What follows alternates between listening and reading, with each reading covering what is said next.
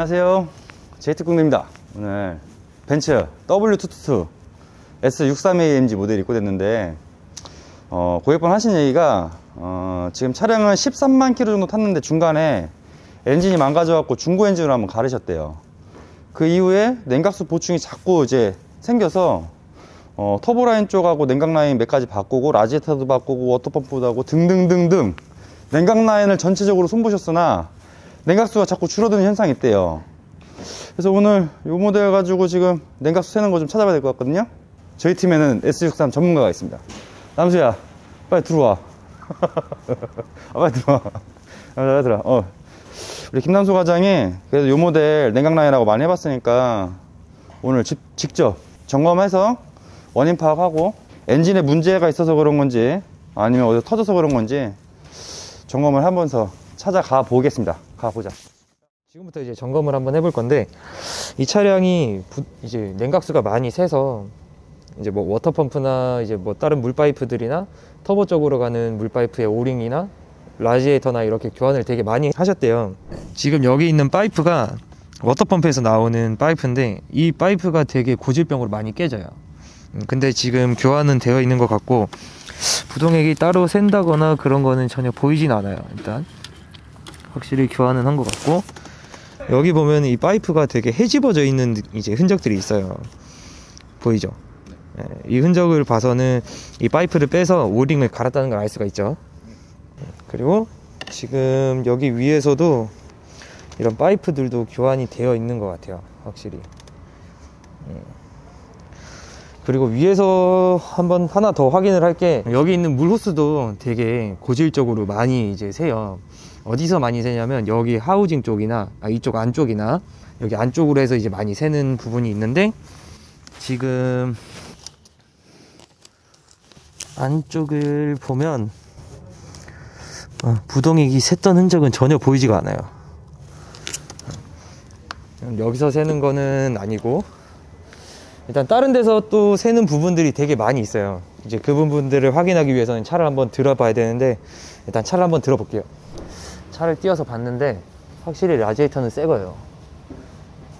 새 건데 다른 데서도 뭐 부동액이 샌다거나 그런 거는 전혀 보이진 않아요. 일단은 육안상으로도 뭐 보인다거나 그런 거는 없는데 어, 살짝 의심스러운 부분이 하나가 생겼어요. 아, 지금 여기 호스가 지금 여기 보면은 이쪽 뒤에서 찍어볼까? 여기 내 뒤에서 여기 부분이 하얀색으로 변했어요. 여기가 네. 보이죠? 네. 그리고 지금 호스를 보면 여기 지금 여기 접촉면 보이죠? 네. 여기가 지금 젖어 있는 게 보여요? 확실히? 네, 좀 까맣게 진하게 돼요. 어, 좀 진하게 뭔가 이렇게 테두리로 이렇게 가 있는 게 보이죠? 네. 지금 이게 제가 봤을 때는 냉각수인 것 같아요. 여기 있는 밴딩이 어떻게 생겼냐면 여기로 잠깐 가볼까요? 이런 식으로 풀리지 말라고 뺄 수 없게끔 만들어 놓은 밴딩이에요. 지금 저기가 위에가 똑같아요. 똑같은 밴딩이에요. 지금 여기 호스들 보면은 다른 호스들 보면 접착면이 뭐 젖어 있다거나 그런 건 전혀 보이진 않죠. 네. 어 근데 여기도 지금 지금 이렇게 벌어지는 게 보이죠. 네. 근데 벌어지면서 주변에가 불그스름하게 맺혀 있는 게 보일까요? 이런 가루들이 네. 이게 냉각수가 샜다는 흔적인 것 같아요. 확실하진 않잖아요. 네. 음, 근데 차주분께서 이야기하시기로는 일상적인 주행에서는 냉각수가 샌다고 하, 이제 하진 않으셨어요. 냉각수가 새진 않는데 가속을 하시거나 급가속을 하셨을 때 냉각수가 많이 샌다고 하셨어요. 그래서 총 여섯 번을 보충을 하셨대요. 근데 거기서도 다른 데서도 어디서 새는지는 전혀 모르겠다 라고 말씀을 하셨거든요. 근데 모를 수밖에 없죠. 시동을 걸고 주행을 하는 게 아니니까 압력을 받는 상태가 아니잖아요. 압력이 아예 없는 상태에서는 이렇게 봤을 때는 육안상으로 봐도 보이지가 않잖아요. 밖에서 이렇게 호스들이 터지거나 하면은 밖에서 새겠는데 안 새는 차량도 있어요. 그러면은 엔진 안으로 냉각수가 이제 유입이 되는 상황인데 그런 경우는 아니길 바라야겠죠. 일단. 근데 의심스러운 부분이 있었으니까 한번 한번 해보시죠 테스트를. 네, 가시죠.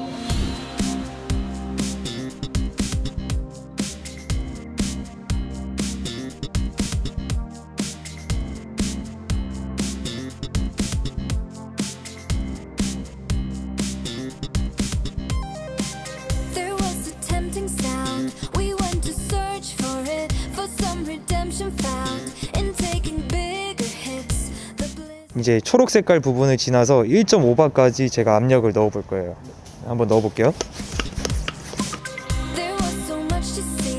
음, 지금 1.5바까지 넣었고 아, 확인 한번 해보러 차를 한번 띄워 볼게요. 안 떨어지네? 왓! 여기 자세히 이제 한번 볼까요? 뭐가 떨어지죠? 네. 떨어지는 거 보여요? 보이죠? 뭐가 고여? 네. 이게 뭘까요? 구동이. 맞아요. 부동액이에요. 냉각수. 파이프를 따라서 쭉 올라가다 보면 어, 갑자기 파이프가 젖었어요. 젖었어. 근데 어 오. 여기서 새죠. 네.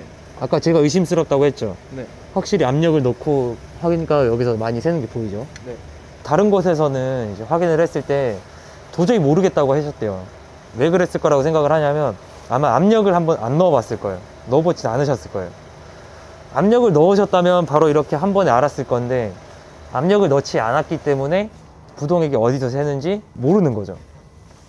그렇기 때문에 부동액이나 냉각수가 터지 이제 새면은 이렇게 한 번씩 압력을 넣고 테스트를 한번 해보는 게 좋을 것 같아요. 지금 여기서 이제 호스에서 새는 게 확인이 되었으니까 이 호스 교환하도록 할게요.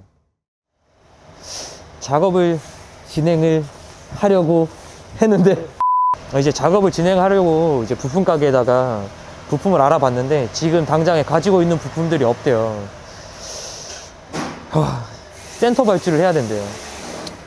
그래서 이 작업은 고객님께 이제 양해를 구하고 다음 주에 작업을 해야 될 것 같습니다. 다음 주에 뵙겠습니다.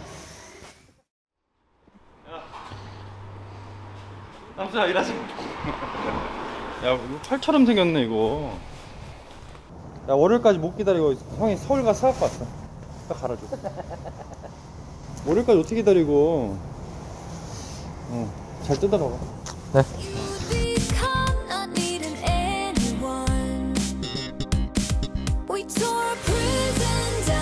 Ocean. 지금 이제 여기 있는 호스를 전부 다 탈거를 해놓은 상태인데 여기 있는 밴딩을 보시면 어떤 분들은 이런 생각을 할 거예요. 밴딩만 교환하면 되지 않을까? 라고 생각하시는 분들이 계실 거예요. 그런데 여기 있는 파이프의 재질을 보게 되면 알미늄이나 쇠파이프처럼 생겼는데 실제로 보면 플라스틱이거든요. 근데 이 차량이 AMG 차량에다가 키로수가 13만 킬로예요. 그러다 보니까 분명히 열을 많이 받았을 거고 열을 받게 되면 분명히 열 변형이 일어나거나 수축이 발생하게 되거나 안에서 으스러지거나 깨지게 돼 있거든요.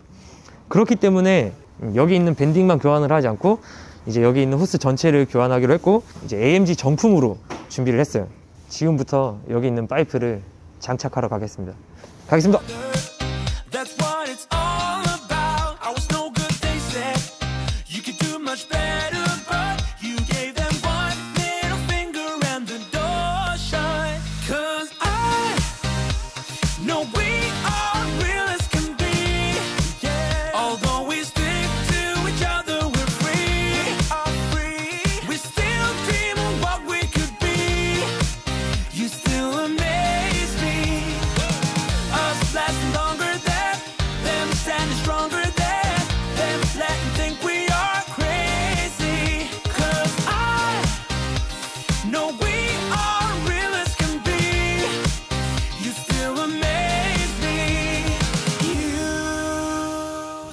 구팀장님 어디 남수 일 잘했어요? 네.